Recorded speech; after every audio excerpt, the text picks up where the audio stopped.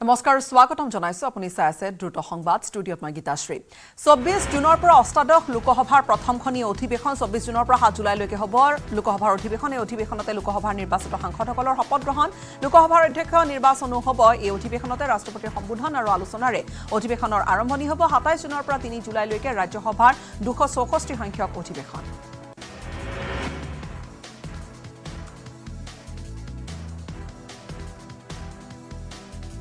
চতুৰ্থবাৰলৈ অন্ধ্ৰপ্ৰদেশৰ মুখ্যমন্ত্ৰীৰূপে বুধবাৰে শপত ল'ব টি ডি পিৰ প্ৰধান এন চন্দ্ৰবাবু নাইডুৱে। বিজয়ৱাড়াৰ মেধা আই টি পাৰ্কত চাৰে এঘাৰ বজাত অনুষ্ঠিত হ'ব চন্দ্ৰবাবু নাইডুৰ শপত গ্ৰহণ অনুষ্ঠান। চন্দ্ৰবাবু নাইডুৰ লগতে কেবিনেট মন্ত্ৰী হিচাপে শপত গ্ৰহণ কৰিব কেইবাগৰাকীও বিধায়কে।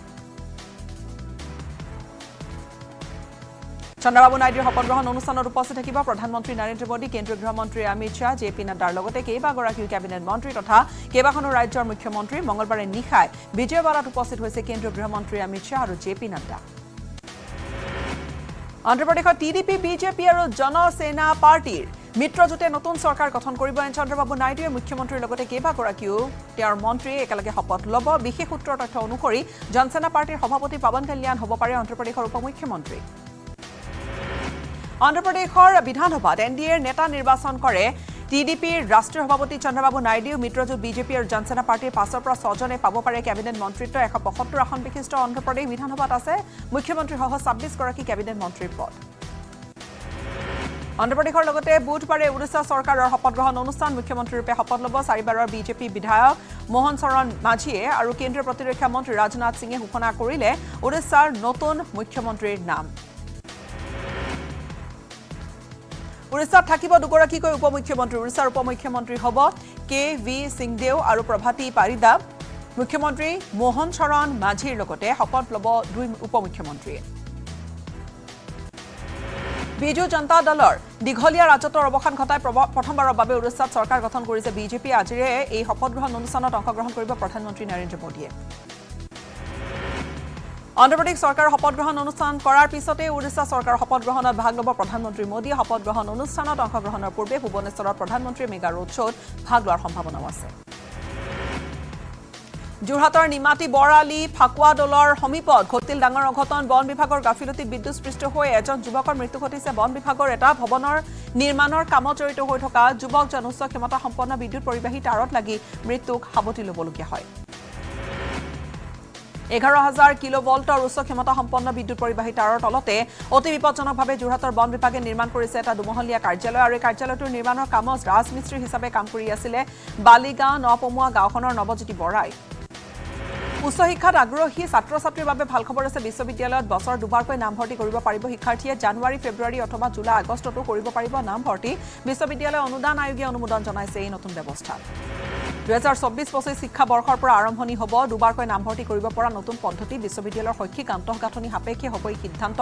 বিদেশৰ বিশ্ববিদ্যালয়সমূহৰ অনুকৰণত অনুমোদন ইউ জি চিৰ ছাত্ৰ ছাত্ৰীসকলৰ বাবে মঙলবাৰে বিশেষ ঘোষণা কৰিলে বিশ্ববিদ্যালয় অনুদান আয়োগৰ অধ্যক্ষ এম জগদেশ কুমাৰে।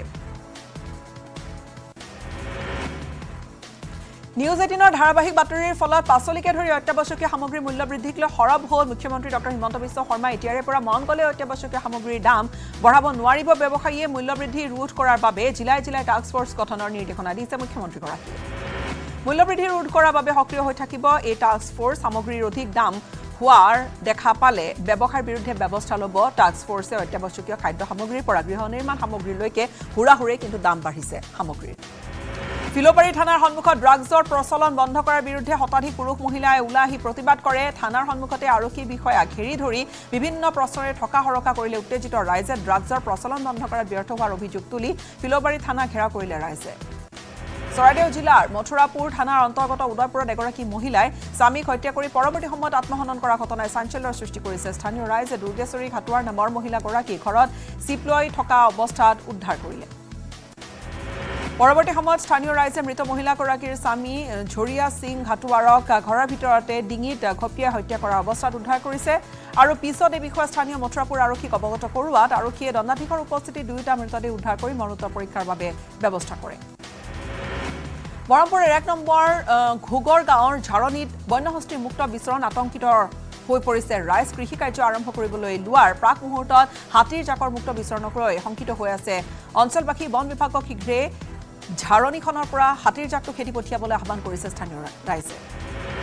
তেজপুৰৰ গাৰোৱানপট্টিত বিধ্বংসী অগ্নিকাণ্ড। মঙলবাৰে নিশা গাৰোৱানপট্টিৰ কমলা প্ৰেছত জুই লাগিল। অগ্নিকাণ্ডত সম্পূৰ্ণৰূপে ভস্মীভূত। প্ৰেছটোৰ কাষতে থকা এখন ৰেস্তোৰাঁ।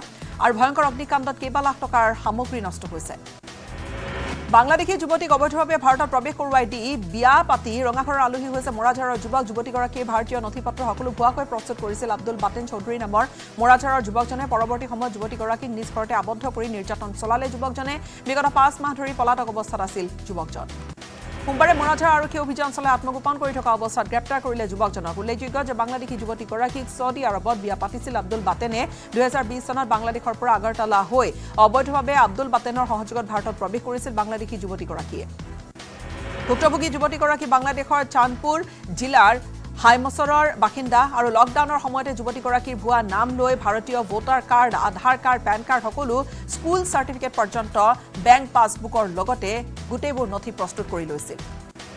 বিগত ছমাহে মেৰামতি নহল বানে বিধ্বস্ত কৰা। তামোলপুৰৰ দলং পাৰ ৰামেশ চুবুৰী সংযোগী পথৰ মটঙা নদীত থকা পকী দলংখন দলং মেৰামতিত বিভাগীয় কৰ্তৃপক্ষ আৰু জনপ্ৰতিনিধিয়ে গুৰুত্ব নিদিয়াত অৱশেষত স্থানীয় ৰাইজে শ্ৰমদান কৰি সাজিলে বাঁহৰ সাঁকো।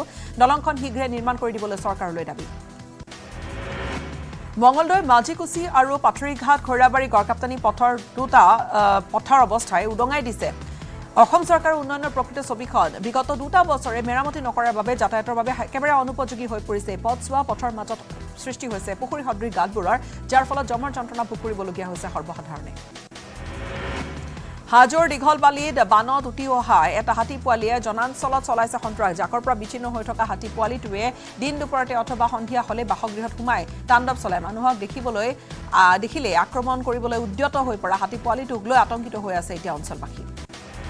পুনৰ মানুহৰ দেহলৈ বাৰ্ড ফ্লুৰ সংক্ৰমণ ঘটিছে। পশ্চিমবংগৰ এটি চাৰি বছৰীয়া শিশুৰ দেহত ধৰা পৰিছে বাৰ্ড ফ্লুৰ সংক্ৰমণ। দুহেজাৰ ঊনৈছৰ পিছত মানুহৰ দেহলৈ বাৰ্ড ফ্লুৰ সংক্ৰমণৰ এয়া হৈছে দ্বিতীয়টো ঘটনা। বিশ্ব স্বাস্থ্য সংস্থাই নিশ্চিত কৰিছে এই কথা।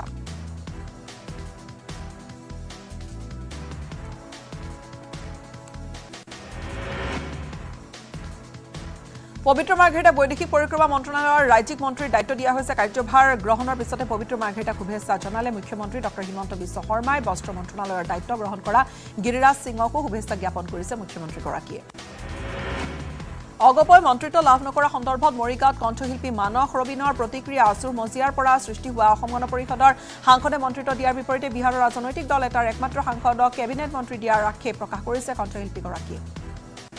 এ আই ডি এফ নেতাৰ বাবে কংগ্ৰেছত প্ৰৱেশৰ পথ বন্ধ কৰিব নেকি? এ আই ডি এফৰ কোনো নেতা কংগ্ৰেছে গ্ৰহণ নকৰে এই বিষয়ত চূড়ান্ত সিদ্ধান্ত ল'ব। কংগ্ৰেছৰ পলিটিকেল এফেয়াৰ্ছ কমিটিয়ে ষোল্ল জুনত চূড়ান্ত সিদ্ধান্ত ল'ব। পি এছ চিয়ে ৰকিবুল হুছেইনে প্ৰস্তাৱক দিছে আগবঢ়াইছে। প্ৰদেশ কংগ্ৰেছলৈ ৰকিবুল হুছেইনৰ প্ৰস্তাৱক লৈ ষোল্ল জুনত পি এছ চিয়ে ল'ব সিদ্ধান্ত। নীট পৰীক্ষাৰ ফলাফলক লৈ বিতৰ্ক কাউন্সেলিঙৰ প্ৰক্ৰিয়া স্থগিত ৰাখিবলৈ কৰা আবেদন অস্বীকাৰ কৰিছে উচ্চতম ন্যায়ালয়ে। শেহতীয়াকৈ বিতৰ্কৰ আৱৰ্তত সোমাই পৰিছে। নীট ইউ জি দুহেজাৰ চৌবিছ পৰীক্ষাৰ ফলাফল প্ৰশ্নকাকত ফাদিল হোৱা বুলিও আৰম্ভ হৈছে বিতৰ্ক। এ পৰ্যন্ত সন্ধান উলিয়াব পৰা নাই। আৰক্ষীয়ে ডিফু দুৰ্বৃত্তৰ হত্যাৰ বলি হোৱা নিজৰ ঘৰতে মহিলাগৰাকীৰ সেই দুৰ্বৃত্তৰ আৰু আৰক্ষীয়ে তদন্ত অব্যাহত ৰাখিছে যদিও হত্যাকাৰীক উলিয়াবলৈ সক্ষম হোৱা নাই। সোমবাৰে নিশা প্ৰায় এক বজাত শুই থকা অৱস্থাত দুৰ্বৃত্তৰ পিষ্টলেৰে গুলীয়াই হত্যা কৰিছিলে। যুৱতীগৰাকীক ডিফুৰ বাৰ নম্বৰ ৱাৰ্ডৰ আৰলং লাংছত সোমবাৰে সংঘটিত হৈছিল এই ঘটনা। নিশা কেঁচা ঘৰত সিন্ধি খান্দি ভিতৰত সোমাইছিল গুলীয়াই হত্যা কৰিছিলে যুৱতীগৰাকীক। দুৰ্বৃত্তই সিন্ধি খন্দা শুনি শব্দ ওলাই আহিছিলে আৰু ঠিক তেনে সময়তে মুখত গুলীয়াইছিলে যুৱতীগৰাকী কলেজত অধ্যয়নৰত দুই ভগ্নীসহ বসবাস কৰিছিল। যুৱতীগৰাকীয়ে প্ৰেমজনিত কাৰণতে হত্যা কৰা সন্দেহ কৰা হৈছে। নিহত যুৱতীগৰাকী মজিয়াত পৰি থকা অৱস্থাত মৃতদেহ উদ্ধাৰ কৰিছিলে আৰু এটা পিষ্টলৰ খালী কাৰ্টিজ আৰক্ষীয়ে উদ্ধাৰ কৰিছে। ইতিমধ্যে আৰক্ষীয়ে ঘটনাস্থলীত উপস্থিত হৈ মৃতদেহ চমজি লৈ যুৱতীগৰাকীৰ মৃতদেহৰ মৰণোত্তৰ পৰীক্ষাৰ বাবে ব্যৱস্থা কৰিছে ডিফু মেডিকেল কলেজ হাস্পতালত। ডিফু নিশা হত্যা কৰা চুকুৰি টিচপি আছিল বিবাহিতা। পূৰ্বে প্ৰাক্তন উগ্ৰপন্থী সদস্যৰ সৈতে যুৱতীগৰাকীৰ বিবাহ হৈছিল যদিও বিবাহ বিচ্ছেদ হৈছিল। যুৱতী হত্যাকাণ্ড তীব্ৰ ভাষাৰে গৰিহণা দিছে কাৰ্বি আংলং স্বায়ত্তশাসিত পৰিষদৰ C E M Tuliram Ronghang লগতে দোষীক শাস্তিমূলকভাৱে ব্যৱস্থা দৃষ্টান্তমূলক ব্যৱস্থা দিয়াৰ যাতে হয় তাৰ বাবে দাবী তুলিছে তুলিৰাম ৰংহাঙে। মুম্বাইত ৰহস্যজনক পৰিস্থিতিত মৃতদেহ উদ্ধাৰ কৰা হৈছিলে কৰিমগঞ্জৰ এগৰাকী যুৱতীৰ নূৰ মালবিকা দাস নামৰ অভিনেত্ৰীগৰাকীয়ে। মৃতদেহ উদ্ধাৰ হৈছিল তেওঁৰ এটা ফ্লেটত মুম্বাইৰ লোখনৱালাৰ ফ্লেটত সংঘটিত এই ঘটনা এতিয়া মৃত্যুৰ কাৰণ অহা নাই পোহৰলৈ। টঙনা থানাৰ ল কাপত যুৱকৰ মৃত্যুক কেন্দ্ৰ কৰি আজিও কাকপথাৰত চেপা উত্তেজনা। অব্যাহত ঘটনাত জড়িত কঠোৰ শাস্তিৰ লগতে পৰিয়ালক ক্ষতিপূৰণৰ দাবী। পৰিয়ালৰ এজনক সংস্থাপনৰ ব্যৱস্থা নকৰিলে প্ৰতিবাদ কাৰ্যসূচী অব্যাহত ৰখাৰ হুংকাৰ দিছে। সোমবাৰে ঘটনাক প্ৰতিবাদ কৰিছিল স্থানীয় লোকে। মঙলবাৰে প্ৰতিবাদস্থলীত এ ডি চি উপস্থিত হৈ প্ৰতিবাদকাৰীৰ সৈতে আলোচনাত মিলিত হয় এ ডি চিয়ে প্ৰতিবাদকাৰীসকলক জিলা আয়ুক্তৰ সৈতে আলোচনাৰ আশ্বাস দিয়াত সাময়িকভাৱে প্ৰতিবাদ স্থগিত ৰাখে প্ৰতিবাদকাৰীয়ে। যুৱকজনৰ মৃত্যুৰ ন্যায় নোপোৱা পৰ্যন্ত মৃতদেহ চমজি নোলোৱাৰ হুংকাৰ দিছে প্ৰতিবাদকাৰীয়ে। বৰ্তমানেও তিনিচুকীয়া অসামৰিক চিকিৎসালয়তে আছে। যুৱকজনৰ মৃতদেহ ইফালে পৰিয়ালক অৱগত নকৰাকৈ মৰণোত্তৰ পৰীক্ষা কৰাৰো অভিযোগ আনিছে পৰিয়ালে। এগৰাকী মহিলাক ধৰ্ষণ কৰি হত্যা কৰাক লৈ প্ৰতিবাদ বাগজান আৰক্ষী থানাৰ সন্মুখত সদৌ অসম আদিবাসী মহিলা সমিতিয়ে সাব্যস্ত কৰিছে। প্ৰতিবাদ ছয় মেত বাগজান গুইজান আৰক্ষী আৰু জিলা প্ৰশাসনে উদ্ধাৰ কৰিছিলে নিমা চুৰি নামৰ বিবাহিতা মহিলাগৰাকীৰ মৃতদেহ। বিবাহিতা মহিলাগৰাকীক দলবদ্ধ ধৰ্ষণ কৰি হত্যা কৰাৰ অভিযোগ। বাগজানৰ এই হত্যাকাণ্ড সন্দৰ্ভত আৰক্ষী থানাত সদৌ অসম আদিবাসী ছাত্ৰ সন্থা বাগজান আঞ্চলিক সমিতিয়ে দাখিল কৰিছিল এখন স্মাৰক পত্ৰ স্মাৰক পত্ৰত উল্লেখ কৰা অনুসৰি সংগঠনটোৱে অধিক আচলতে ভালদৰে তদন্ত বিচাৰিছে আৰক্ষীক বান্ধি দিছিল আঠচল্লিছ ঘণ্টাৰ সময়সীমা কিন্তু সেই সময় উকলি যোৱাৰ পিছতো কোনো ধৰণৰ ব্যৱস্থা গ্ৰহণ নকৰাত পুনৰ প্ৰতিবাদ ৰাইজৰ। মহিলাক হত্যা কৰি ধৰ্ষণ কৰা এই অমানৱীয় কাৰ্যত জড়িত লোকক অতি শীঘ্ৰে কৰায়ত্ব কৰাৰ দাবী প্ৰতিবাদকাৰীসকলৰ। লগতে আগন্তুক চৌব্বিছ ঘণ্টাৰ ভিতৰত কোনো সদুত্তৰ নাপালে পুনৰ তীব্ৰ আন্দোলন গঢ়ি তোলাৰ হুংকাৰ দিছে প্ৰতিবাদকাৰী সংগঠনটোৱে। ছোৱালী জোকোৱাৰ বাবে প্ৰাণ গ'ল এজন যুৱকৰ নগাঁৱৰ কন্দলীত সংঘটিত হৈছে। চাঞ্চল্যকৰ ঘটনা কন্দলীৰ চাহ বাগানৰ মাজত কমল দেউৰী নামৰ এজন যুৱকৰ মৃতদেহ উদ্ধাৰ কৰা হ'ল। তীব্ৰ উত্তেজনাৰ সৃষ্টি ইতিমধ্যে ঘটনাস্থলীত আৰক্ষী উপস্থিত হৈ মৃতদেহ চমজি লৈ তদন্ত অব্যাহত ৰাখিছে। আনহাতে স্থানীয় লোকে ছোৱালী জোকোৱা কেন্দ্ৰ কৰিয়ে কমল দেউৰীক হত্যা কৰা হ'ল। বাগানৰ মাজত মৃতদেহ পেলাই থৈ গৈছে বুলি সন্দেহ কৰিছে। স্থানীয় লোকে অজিত তাঁতী আৰু কাৰ্তিক তাঁতী নামৰ লোক দুজনৰ বিৰুদ্ধে অভিযোগ আনিছে। যোৱা বুধবাৰে ছোৱালী জোকোৱা কেন্দ্ৰ কৰি কমল দেউৰীক অজিত তাঁতী আৰু কাৰ্তিক তাঁতীয়ে বেয়াকৈ মাৰ ধৰো কৰিছিল। পাঁচ জুনৰ পৰা সন্ধানহীন হৈ আছে জামুগুৰিহাটৰ ভৰলী চাপৰিৰ পৰা তিনিগৰাকীকৈ কিশোৰী একে গাঁৱৰে তিনি কিশোৰী সন্ধানহীন হোৱাত অঞ্চলটোত এতিয়া চাঞ্চল্যৰ সৃষ্টি হৈছে। পাঁচ জুনৰ বিয়লি ঘৰৰ পৰা ওলাই গৈ আজি পৰ্যন্ত ঘৰলৈ উভতি অহা নাই কিশোৰী ভৰলী চাপৰিৰ গাঁও নিৰ্দেশ হোৱা তিনি কিশোৰী সন্দৰ্ভত ইতিমধ্যে জামুগুৰি আৰক্ষী থানাত এজাহাৰ দাখিল কৰিছে। পৰিয়ালে কিশোৰী কেইগৰাকী কোনো দুষ্ট চক্ৰৰ কবলত যাতে নপৰে তাৰ বাবে ব্যৱস্থা ল'বলৈ আহ্বান কৰিছে স্থানীয় লোকৰ সন্দেহো। আৰু এটা পুখুৰীৰ পাৰত এগৰাকী কিশোৰীৰ কাপোৰ কানি উদ্ধাৰ হোৱাক লৈও ৰহস্যৰ সৃষ্টি হৈছে।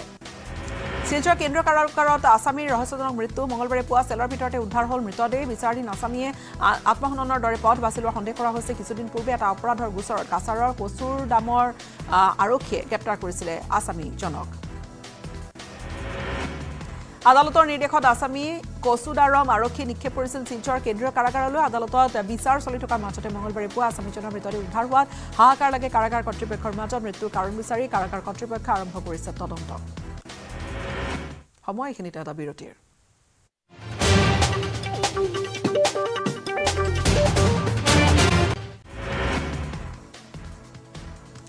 Majuli life health care private লিমিটেডৰ নামৰ এটা প্ৰবঞ্চনাৰ জাল আৰু এই ব্যক্তিগত প্ৰতিষ্ঠানটো খুলি যোৰহাটৰ প্ৰবঞ্চক পলাশজ্যোতি বৰাই বহু নিবনুৱাৰ পৰা সৰকাইছে লাখে লাখে টকা ৰাইজৰ সহযোগৰ। পিছতে আৰক্ষীয়ে আটক কৰিছে পলাশজ্যোতি বৰাক। কুপটিমাৰী গাঁওখনত সন্তানসহ এগৰাকী মহিলা নিৰুদ্দেশ হৈছে। নিৰুদ্দিষ্ট মহিলাগৰাকীৰ নাম চেলুমা খাতুন আৰু তেওঁৰ পুত্ৰ সন্তান কণমানিটি। ইতিমধ্যে মহিলাগৰাকীৰ নিৰুদ্দেশ পোৱা সম্পৰ্কত ঘোঁৰাগাঁও থানাত এজাহাৰ দাখিল কৰিছে মহিলাগৰাকীৰ স্বামী আব্দুল আলীয়ে। চতিয়াৰ চমৰা দলনিৰ কেন্দুগুৰিত গৰু চুৰিৰ ঘটনা গাঁওখনৰ মনবীৰ বিশ্বকৰ্মা নামৰ ব্যক্তিজনৰ ঘৰৰ গোহালিৰ পৰা সোমবাৰে নিশা চোৰে চুৰ কৰি নিলে দুগৰাকী দুজনীকৈ গাই গৰু আৰু ইতিমধ্যে ভুক্তভোগী লোকজনে গৰু চুৰিৰ ঘটনা সন্দৰ্ভত আৰক্ষী থানাত এজাহাৰ দাখিল কৰিছে। গোৱালপাৰা দুমনি নৈৰ ওপৰত থকা লোক নিৰ্মাণ বিভাগৰ এখন পুৰণি দলঙৰ লো চুৰি হৈছে। জিলা গড়কাপ্তানি বিভাগৰ অভিযোগত মৰণে আৰক্ষীয়ে এখন জে চি বিৰ লগতে লোৰ জয়ছ আহ, সমূহ উদ্ধাৰ কৰিবলৈ সক্ষম হৈছে। আৰু অৱশ্যে এই চুৰি ঘটনাত আৰক্ষীয়ে কোনো লোকক আটক কৰা নাই এতিয়ালৈকে। কৰিমগঞ্জ আৰক্ষীৰ জালত পৰিছে তিনি গভাই চোৰ ধৃত চোৰকেইটা কৰিমগঞ্জ বজাৰৰ সাতখনকৈ দোকানত চুৰিকাণ্ড কৰিছিলে। মঙলবাৰে জিলা বজাৰ ৰেলৱে কলনী আৰু পি ডাব্লিউ ডি পৰা চোৰ তিনিটাই চুৰি কৰিছিলে আটক কৰিছে এই ঠাইৰ পৰা তিনিওটাকে। হোজা জালিয়াতিৰে ফাইনেন্স কোম্পানীৰ পৰা ডাম্পাৰ জে চি বি ফকলেণ্ড আদি ক্ৰয় কৰি নিশাৰ ভিতৰতে নম্বৰ তাৰ পিছতে চেচিছ সলনি কৰি বিক্ৰী কৰাৰ অভিযোগতে জমিৰ উদ্দিন নামৰ এজনক আটক কৰা হৈছে। মৰাঝাৰৰ জাকিৰ হুছেইন নামৰ এজন চালকৰ অভিযোগৰ ভিত্তিতে জমিৰ উদ্দিনক আটক কৰিছে। আৰক্ষীয়ে জেললৈ প্ৰেৰণ কৰিছে। শক্তি বিভাগৰ গাফিলতিৰ বাবে মৃত্যু ঘটা। জিতু হাজৰিকাৰ ঘৰ ঠোকাকুল পৰিৱেশ। এতিয়া মৰণোত্তৰ পৰীক্ষাৰ পিছত নিজ ঘৰলৈ মৃতদেহ অনা ঠোকাকুল পৰিৱেশৰ সৃষ্টি হ'ল। নিজৰ পুত্ৰ স্বামী পিতৃক হেৰুৱাই শোকত ভাগি পৰিছে। পৰিয়ালৰ সকলো লোক। নিজৰ একমাত্ৰ উপাৰ্জনকাৰী জিতু হাজৰিকাক হেৰুৱাই দিক বিদিক হেৰুৱাইছে এই পৰিয়ালটোৱে। উল্লেখযোগ্য যে সোমবাৰে সন্ধিয়া বিদ্যুতৰ খুটা বাগৰি পৰি গাত মৃত্যু ঘটিছিল। কাহিলীপাৰা জিতু হাজৰিকাৰ সন্তানক টিউশ্যনৰ পৰা আনিবলৈ যোৱাৰ সময়তে বিদ্যুতৰ খুটা পৰি গাত মৃত্যু ঘটিছিলে হাজৰিকাৰ। মহানগৰীৰ ঠায়ে ঠায়ে এতিয়া শক্তি বিভাগৰ এই ধৰণৰ মৰণফা একাংশ বিষয়া কৰ্মচাৰীৰ দায়িত্ব জ্ঞানহীনতাৰ বাবে ম্যাদ উকলা খুটাৰে দিনৰ পিছত দিন ধৰি তাত বিদ্যুতৰ যোগান ব্যৱস্থা চলিছে। কাহিলীপাৰাত বিদ্যুতৰ খুটা পৰি জিতু হাজৰিকা নামৰ লোকগৰাকীৰ মৃত্যুৰ পিছতে পোহৰলৈ আহিছে উদ্বেগজনক কিছু তথ্য। সোমবাৰে সন্ধিয়া কাহিলীপাৰাত বৈদ্যুতিক খুটা পৰি জিতু হাজৰিকাৰ মৃত্যুৰ পিছতে তদন্তৰ ঘোষণা কৰিছে গৃহ নিৰ্মাণ আৰু নগৰ পৰিক্ৰমা মন্ত্ৰী অশোক সিংহালে তদন্ত কমিটি গঠন কৰি মহানগৰ জিলা আয়ুক্তক ঘটনাৰ তদন্তৰ নিৰ্দেশনা দিছে। অসম প্ৰশাসনিক পদাধিকাৰী মহাবিদ্যালয়ৰ গৃহ নিৰ্মাণৰ নগৰ পৰিক্ৰমা বিভাগৰ পৰ্যালোচনা বৈঠক মন্ত্ৰী অশোক সিংহালে অংশগ্ৰহণ কৰিলে। পৌৰসভা আৰু পৌৰ নিগমৰ নৱ নিযুক্ত মুখ্য কাৰ্যবাহী বিষয়াসকলৰ কাম কাজক লৈ আলোচনা কৰা হৈছে এই বৈঠকত। বিগত তিনি মাহৰ কামৰ খতিয়ান আগবঢ়ালে নৱনিযুক্ত মুখ্য কাৰ্যবাহী বিষয়াসকলে পৌৰপতি আৰু পৌৰসভাৰ ক্ষমতা কৰ্তনক লৈ শংকিত নহবলৈ আহ্বান। মন্ত্ৰী অশোক সিংহালৰ নগৰীয়া অঞ্চলত জাবৰ জোঁথৰসমূহ নিষ্কাশন কৰি নগৰীয়া জংঘল স্থাপনৰ পৰিকল্পনা যুগুত কৰিছে বুলি মন্তব্য। কিলাৰ হাইৱেত পৰিণত হাজু গুৱাহাটীৰ পথছোৱা মঙলবাৰে দদৰাত বিপৰীত দিশৰ পৰা আহি থকা এখন দ্ৰুতবেগী অল্ট্ৰা আল্ট্ৰা বাছে মহতিয়ালে এখন স্কুটি এগৰাকী স্কুটি আৰোহী দুৰ্ঘটনাত পতিত। এই দুৰ্ঘটনাত থিতাতে নিহত কামৰূপৰ গন্ধমোৰ হৰ্ষজ্যোতি দাস নামৰ স্কুটি আৰোহীজন দুৰ্ঘটনা সংঘটিত কৰিয়ে বাছ চালকে কৰিলে পলায়ন। উমৰাংচুৰ গল্ফ কোৰ্চৰ ৰোডত স্কুটি আৰু বলেৰ' বাহনৰ মাজত মুখামুখি সংঘৰ্ষ এই দুৰ্ঘটনাত প্ৰাণ হেৰুৱালে। উমৰাংচু বিবেকানন্দ কেন্দ্ৰীয় বিদ্যালয়ৰ দশম শ্ৰেণীৰ এগৰাকী ছাত্ৰই নিহত ছাত্ৰজনৰ নাম সঞ্জয় শৰ্মা। বিদ্যালয়ৰ পৰা স্কুটিৰে আহি থকা অৱস্থাতে এই ঘটনা সংঘটিত হৈছে। গুৱাহাটীৰ ৰূপনগৰস্থিত অসম জৰীপ আৰু বন্দোবস্তি প্ৰশিক্ষণ কেন্দ্ৰৰ বিৰুদ্ধে মণ্ডল নিযুক্তি কেলেংকাৰীৰ অভিযোগ আৰু এই অভিযোগ উত্থাপন কৰিছে আৰ টি আই কৰ্মী দিলীপ নাথে। R T I B T C আৰু কাৰ্বি আংলঙৰ বাবে সংৰক্ষিত মণ্ডল নিযুক্তি প্ৰক্ৰিয়া নিৰ্দিষ্ট ঠাইৰ প্ৰাৰ্থীৰ বিপৰীতে কেন্দ্ৰটোৰ অঙহী খেপ। নিযুক্তি দিয়াৰ অভিযোগ আৰ টি আই কৰ্মীগৰাকীয়ে আনিছে ভাৰতবৰ্ষৰ তেৰ সংখ্যক ৰাজ্যৰ তেৰখন ৰাজ্যৰ পাঁচশ সাতচল্লিছখন জিলাত মঙলবাৰৰ পৰা আৰম্ভ হৈছে প্ৰাপ্তবয়স্ক অৰ্থাৎ ওঠৰ বছৰৰ ওপৰৰ বা ঊৰ্ধৰ সকলোৰে বাবে যক্ষ্মা ৰোগ প্ৰতিৰোধী টীকাকৰণৰ অভিযান অসমৰ শিৱসাগৰ আৰু লখিমপুৰ জিলাত প্ৰথমবাৰৰ বাবে পাইলট প্ৰজেক্ট হিচাপে আৰম্ভ কৰা হৈছে যক্ষ্মা ৰোগ প্ৰতিৰোধী টীকাকৰণৰ অভিযান। যক্ষ্মা প্ৰতিৰোধী টীকাকৰণৰ ব্যৱস্থাৰ বাবে ইতিমধ্যে শিৱসাগৰ জিলাত এক লাখ সাতাৱন্ন হাজাৰ সাতশ তিৰাশীগৰাকীয়ে নাম পঞ্জীয়ন কৰা বুলি জনাইছে স্বাস্থ্য বিভাগে আৰু মঙলবাৰৰ পৰা শিৱসাগৰ আৰু লখিমপুৰ জিলাৰ চৰকাৰী চিকিৎসালয় স্বাস্থ্য কেন্দ্ৰসমূহত বিনামূলীয়াকৈ ভেকচিন প্ৰদান কৰা হ'ব প্ৰাপ্তবয়স্ক লোকসকলক। প্ৰাপ্য ধন বিচাৰি হাহাকাৰ কৰিছে ডিব্ৰুগড়ৰ এডাল নিৰাপত্তাৰক্ষীয়ে Vanguard security services and system নামৰ ছিকিউৰিটি এজেঞ্চিৰ জৰিয়তে বিগত দুহেজাৰ একৈছ চনত নৱেম্বৰ মাহৰ পৰা তেইছ বৰ্ষৰ মাৰ্চ মাহলৈকে এম চি এইচত কৰ্মৰত আছিল দুশ দহগৰাকী নিৰাপত্তাৰক্ষী অভিযোগ অনুসৰি প্ৰতিটো মাহতে এওঁলোকৰ পৰা বাৰ শতাংশকৈ দৰমহা ধন কোম্পানীয়ে কাটি থৈছিল পি এফৰ নামত। কিন্তু নিৰাপত্তাৰক্ষীসকলৰ দৰমহাৰ ধন কটাৰ নামত দিয়া হোৱা নাছিল কোনো পি এফ নম্বৰ। কাটি থোৱা এই ধনৰ পৰিমাণ সোমোৱা নাছিল পি এফ একাউণ্টত। তেওঁলোকৰ পি এফ একাউণ্টক লৈ এতিয়া বিতৰ্ক। চুক্তি অনুসৰি সোতৰ মাহৰ অন্তত অসম চিকিৎসা মহাবিদ্যালয় এজেঞ্চিৰ কাম সম্পূৰ্ণ হৈছিল। কৰ্মৰ পৰা অব্যাহতি দিয়া হৈছিলে যদিও কাটি থোৱা পি এফৰ ধন দিয়া হোৱা নাছিল কোনো এজনকে। সোমবাৰে ছিকিউৰিটি এজেঞ্চিটোৰ শতাধিক কৰ্মীক পি এফৰ পইচা দিয়াৰ নামত ডিব্ৰুগড়ৰ বিভিন্ন স্থানলৈ মাতি পঠিয়ায়। যদিও সেই স্থান এৰি পলায়ন কৰিলে এজেঞ্চিৰ লোকে পিছত এজেঞ্চিৰ ছুপাৰভাইজাৰক আবদ্ধ কৰি ৰাখিলে এজেঞ্চিৰ কৰ্মচাৰীসকলে। কাজিৰঙাৰ জনাঞ্চলত ঢেকীয়াপতীয়াৰ আতংক। এতিয়া উদ্যানখনত কহৰা বনাঞ্চলত অন্তৰ্গত জাপৰি পথাৰ ডেৰগয়া পামৰ ৰঙালাও খেতিৰ মাজত প্ৰকাণ্ড ঢেকীয়াপতীয়াৰ বিচৰণ। আতংকিত গাঁওবাসীয়ে বাঘটোক জনাঞ্চলৰ পৰা পুনৰ বনাঞ্চললৈ খেতি পঠিয়াবলৈ অনুৰোধ কৰিছে। বন বিভাগৰ লোকক। ৰাজ্যৰ প্ৰতিখন বজাৰতে অত্যাৱশ্যকীয় সামগ্ৰীৰ লগতে পাচলিৰ দামে জুৰুলা কৰিছে। জনতাক অস্বাভাৱিক হাৰত দাম বৃদ্ধি হৈছে। শেহতীয়াকৈ শাক পাচলিৰ দামে জুৰুলা কৰিছে সকলোকে। কাকজান চাহ বাগিচাৰ পথাৰৰ মাজত খন্দা গাঁতত ডুবি প্ৰাণ হেৰুৱাইছে। দুটিকৈ কণমানি শিশুৱে পথ নিৰ্মাণৰ বাবে এক্সকেভেটাৰেৰে মাটি খন্দাৰ ফলত পথাৰ সৃষ্টি হৈছিলে। এটা গাঁতৰ আৰু এই গাঁতত পৰি গৈয়ে শনিবাৰে প্ৰাণ হেৰুৱাইছিল দুটি কণমানি এই সন্দৰ্ভত ঠিকাদাৰ ৰাজু আগৰৱালাৰ বিৰুদ্ধে দেবেৰাপাৰ আৰক্ষী চকীত ভুক্তভোগী পৰিয়ালে ৰুজু কৰিছে এটা গোচৰ।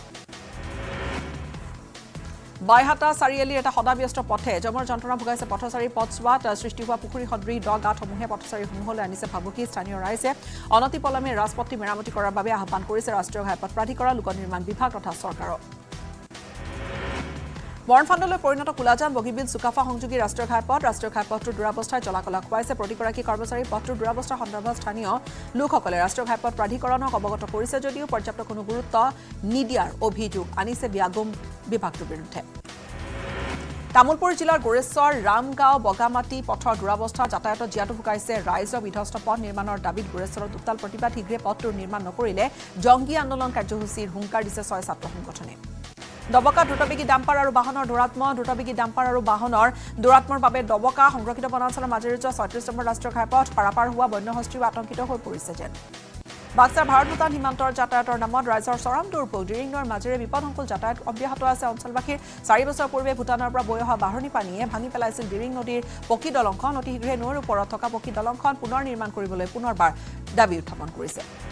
চৰকাৰী ধান ক্ৰয় কেন্দ্ৰ মুকলি কৰি নিদিয়াৰ সুযোগ গ্ৰহণ কৰি একাংশ দুষ্ট চক্ৰই চলাইছে কম মূল্যতে ধান ক্ৰয়ৰ বেহা যাৰ ফলত বিপদত পৰিছে এতিয়া কৃষক। আৰু চৰকাৰে উচিত মূল্যত কৃষকৰ ধান ক্ৰয় কৰিছিল। ক্ষমা কৰিব ধান ক্ৰয় কেন্দ্ৰ। ধান ক্ৰয় কৰিছিল যদিও সম্প্ৰতি সেই প্ৰক্ৰিয়া বন্ধ হৈ থকা বিপাঙত পৰিছে মৰিগাঁও কৃষক। তিনিচুকীয়াৰ ফিলবাৰীত অচল হৈ আছে জলসিঞ্চন বিভাগৰ পানী যোগান আঁচনি। খেতিপথাৰত পানী বিচাৰি নাপায়। এতিয়া স্থানীয় চহা খেতিয়কসকল পথাৰত তেওঁলোকে এৰি পথাৰ এৰি উপস্থিত হৈছে। ফিলবাৰীত থকা জলসিঞ্চন বিভাগৰ কাৰ্যালয়ত। অৰ্ধনিৰ্মিত এখন বিদ্যালয়। এতিয়া এৰাবাৰীত পৰিণত হৈছে আমি দৃশ্য দেখুৱাইছো। ওদালগুৰি সোণাজুলি উচ্চ মাধ্যমিক বিদ্যালয়ৰ গৃহটি সম্পূৰ্ণ হৈ নুঠাৰ বাবে বিদ্যালয়খনৰ ছাত্ৰ ছাত্ৰীয়ে পঢ়িবলগীয়া হৈছে। ভঙা টিনপাতৰ কোঠাত দুহেজাৰ একৈছ চনতে ঠিকাদাৰে বিদ্যালয়খনৰ গৃহৰ কাম প্ৰায় পঞ্চাছ শতাংশ সম্পূৰ্ণ কৰিছিল ঠিকেই কিন্তু আজিলৈকে সম্পূৰ্ণ নকৰিলে। শিৱসাগৰ জিলা চৰকাৰী চিকিৎসালয়ৰ প্ৰাথমিক স্বাস্থ্য কেন্দ্ৰত যোৱা চাৰি পাঁচ দিন ধৰি ৰেবিজ ভেকচিন নথকাত হাহাকাৰ লাগিছে। ৰোগীৰ মাজত ৰেবিজ ভেকচিন নথকাত কুকুৰ মেকুৰী তথা জীৱ জন্তুৱে কামোৰা বা আচোৰা বহু লোক চিকিৎসালয়লৈ গৈ এতিয়া বিমুখ হৈ উভতিবলগীয়া হৈছে। কাজিৰঙাৰ এনিমেল কৰিডৰত সৌৰশক্তি চালিত ষ্ট্ৰীট লাইট লগোৱা কেন্দ্ৰ কৰি সৃষ্টি হৈছে। বিতৰ্কৰ জীৱ জন্তু অহা যোৱা কৰা পথত নিশা পোহৰৰ ব্যৱস্থা নকৰ- নকৰাক লৈ পোহৰ সেৱা কৰিব পোহৰৰ ব্যৱস্থা কৰি দিয়াক লৈ সৰব হৈ পৰিছে প্ৰকৃতিপ্ৰেমী ৰাইজ। কিয়নো এই ষ্ট্ৰীট লাইটে জীৱ জন্তুৰ বাবে কঢ়িয়াব পাৰে অশনি সংকেত। বডফা উপেন্দ্ৰ নাথ ব্ৰহ্মৰ নামত বি টি চি চৰকাৰে আৰম্ভ কৰিছে বডফা ছুপাৰ ফিফটি নামৰ প্ৰথম বৰ্ষৰ বডফা ছুপাৰ ফিফটিৰ পঞ্চাছগৰাকী ছাত্ৰ ছাত্ৰীৰ ভিতৰত আঠচল্লিছগৰাকীয়ে নীটত সফলতাৰে উত্তীৰ্ণ হৈছে। ইয়াৰ সৈতে বিদায় ল'ম নমস্কাৰ।